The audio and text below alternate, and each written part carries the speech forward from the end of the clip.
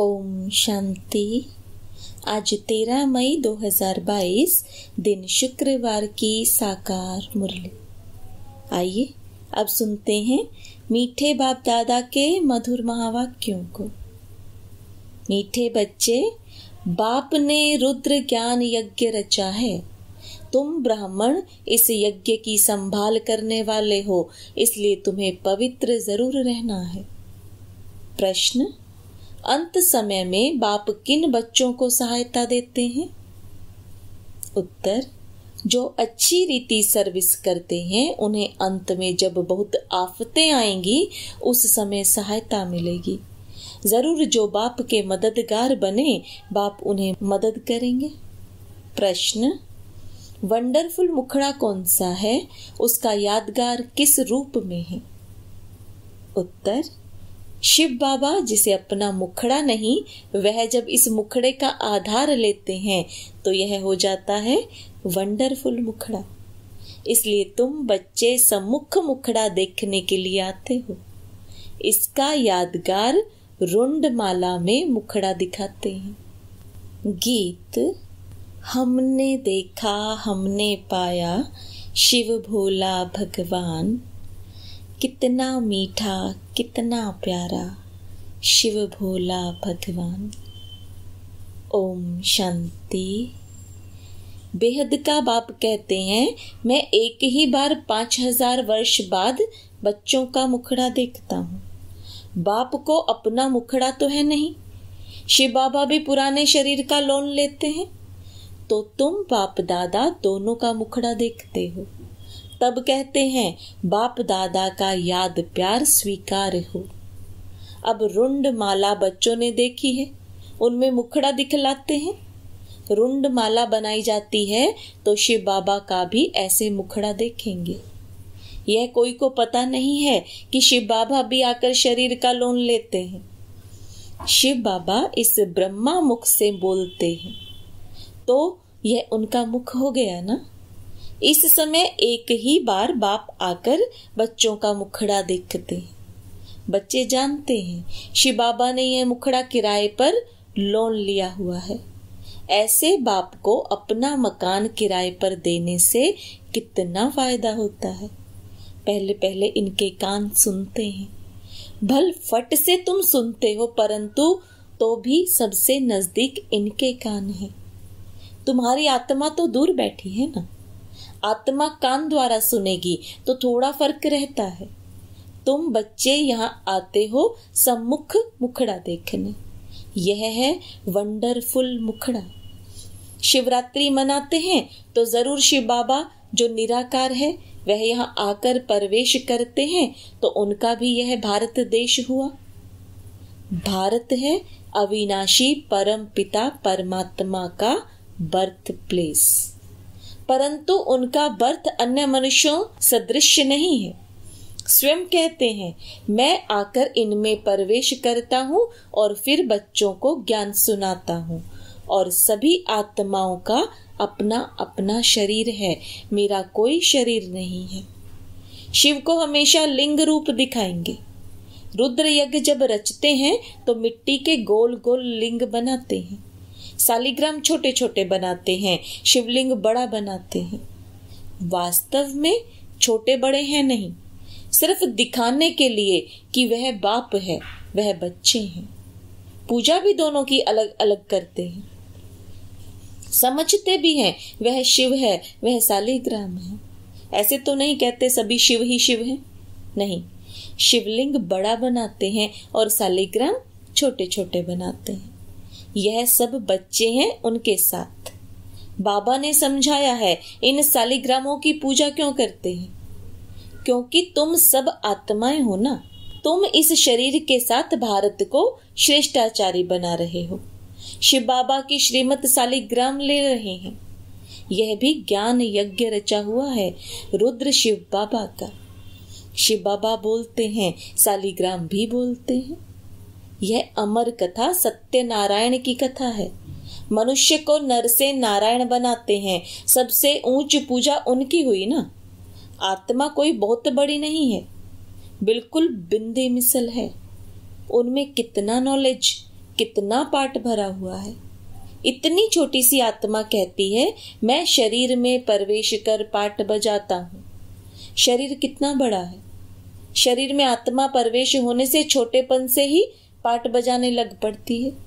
अनादि अविनाशी पाठ मिला हुआ है। शरीर तो जड़ है।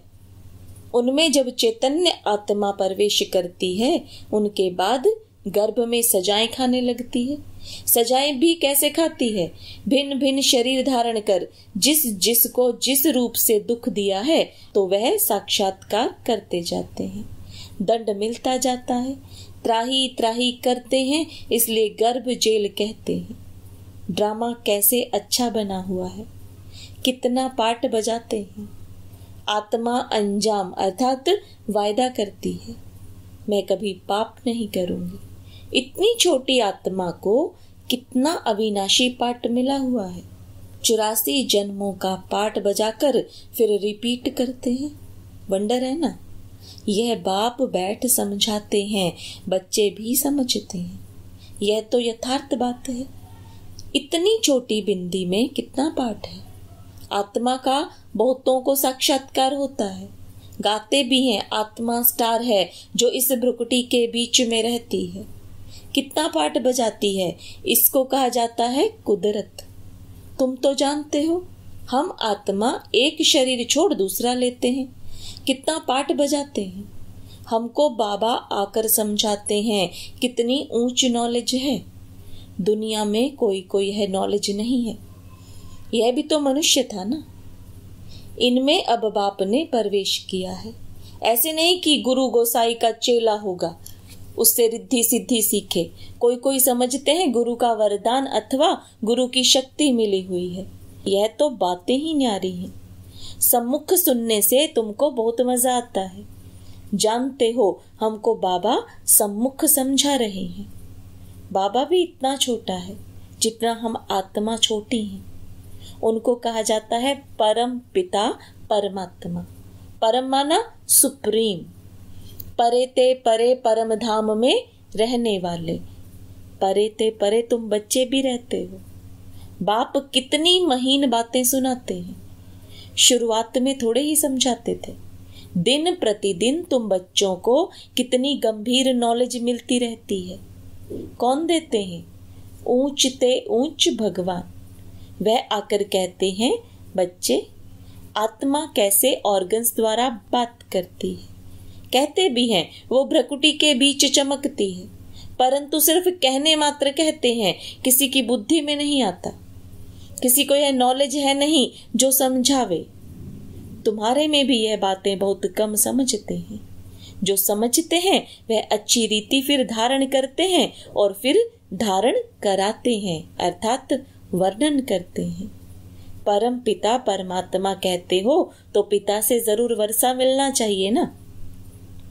स्वर्ग के मालिक होने चाहिए। उन्हों को ज़रूर बाप से स्वर्ग का वर्षा मिला होगा। कहा वर्षा दिया? क्या सतयुग में दिया? ज़रूर पास्ट के कर्म है। अभी तुम कर्मों की थ्योरी को समझते हो। तुमको बाबा ऐसे कर्म सिखलाते हैं जिससे तुम ऐसे बन सकते हो। जब तुम ब्रह्मा मुख वंशावली बने हो, तब शिव बाबा ब्रह्मा मुख से तुमको यह नॉलेज सुनाते हैं। कितना रात दिन का फ़र्क है। कितना घोर अंधियारा हो गया है। कोई भी बाप को जानते नहीं, जिससे रोशनी मिले। कहते हैं, हम एक्टर्स पाठ बजाने आए हैं इस कर्म क्षेत्र पर। परंतु हम कौन है? हमारा बाबा कौन है? कुछ भी पता नहीं। सृष्टि चक्र कैसे फिरता है, कुछ भी नहीं जानते। गाया भी हुआ है, अहिल्याएँ, कुब्जाएँ, गणिकाएँ जो हैं, उनको आकर पढ़ाते हैं। प्रदर्शनी में बहुत बड़े बड़े आदमी भी आते हैं, परंतु उनकी तकदीर में है नहीं। बाप है ही गरीब निवास। सो में से मुश्किल कोई एक साहूकार निकलेगा। सो भी ऊंच पद पाने का पुरुषार्थ कोई विरला ही करते हैं। तुम हो गरीब। माताओं के पास बहुत पैसे आदि थोड़े ही रहते हैं। कन्याओं के पास कहाँ से आए? वह तो फिर भी हाफ़ पार्टनर हैं। कन्या को तो कुछ भी मिलता नहीं है। वह वहाँ चली जाती है। हाफ़ पार्टनर बनती है वर्षा नहीं ले सकती है। बच्चे तो फुल मालिक होते हैं। तो ऐसी कन्याओं को ही पहले पहले बाप अपना बनाते हैं। एक तो पढ़ाई की ब्रह्मचारी लाइफ है, गरीब हैं, पवित्र हैं, इनकी ही पूजा होती है। है सारे इस समय की बातें। इस समय तुम्हारी एक्ट चलती है, जो फिर पूजी जाती है। शिव जयंती बिगर कृष्ण जयंती हो ना सके। तुम जानते हो, शिव जयंती फिर कृष्ण की, राम की जयंती। शिव जयंती से जगतम्बा जगत पिता का भी जन्म होता है। तो ज़रूर जगत का ही वर्षा मिलेगा। सारे जगत का मालिक तुम बनते हो। जगत माता है जगत की मालिक। जगत अम्बा का बहुत मेला लगता है। ब्रह्मा को इतना नहीं पूजते हैं। तो बाप माताओं को आगे रखते हैं। शिव शक्तियाँ माताओं को सबने ठोकरें मारी हैं, खास पतियों ने। यह तो पतियों का पति है। कन्याओं को समझाते हैं, यह जगत अम्बा की बच्चियाँ, मास्टर जगत अम्बा हुई ना? यह बच्चियाँ भी माँ जैसे कार्य कर रही हैं। मम्मा मिसल, तुम भी त्रिकालदर्शी हो। मेल फीमेल दोनों हैं। प्रवृत्ति मार्ग है ना?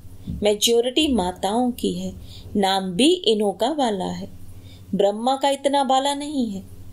सार सिद्ध ब्राह्मण ब्रह्मा को पूजते हैं। दो प्रकार के ब्राह्मण होते हैं, सार सिद्ध और पुष्करणी। शास्त्र सुनाने वाले अलग होते हैं।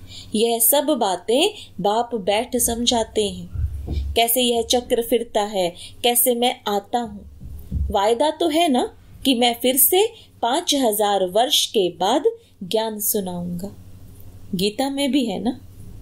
जो पास्ट हो जाता है, वो फिर भक्ति मार्ग में गाया जाता है। यह तो अनादि ड्रामा है। कभी शूट नहीं होता। इनका कोई आदि मध्य अंत नहीं है, चलता ही आता है, बाप आकर समझाते हैं। यह ड्रामा कैसे चलता है? चुरासी जन्म तुमको ही भोगना पड़ता है। तुम ही ब्राह्मण, देवता, क्षत्रिय आदि वर्ण में आते हो। शिव बाबा और ब्राह्मण, दोनों को गुम कर दिया है। ब्रह्मा द्वारा तुम ब्राह्मण बनते हो। ब्राह्मण ही यज्ञ संभालते हैं। पतित तो यज्ञ की संभाल कर ना सके। यज्ञ जब रचते हैं तो विकार में नहीं जाते। यात्रा पर भी विकार में नहीं जाते हैं। तुम हो रूहानी यात्रा पर।